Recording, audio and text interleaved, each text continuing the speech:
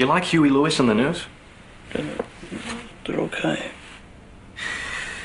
Their early work was a little too new wave for my taste.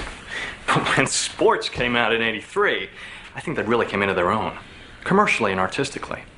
The whole album has a clear, crisp sound and a new sheen of consummate professionalism that really gives the songs a big boost. He's been compared to Elvis Costello, but I think Huey has a far more bitter, cynical sense of humor. Hey, Halberstram. Yes, Allen? Why are there copies of the style section all over the place? Do you, you have a dog? A little chow or something? No, Allen. Is that a raincoat? Yes, it is.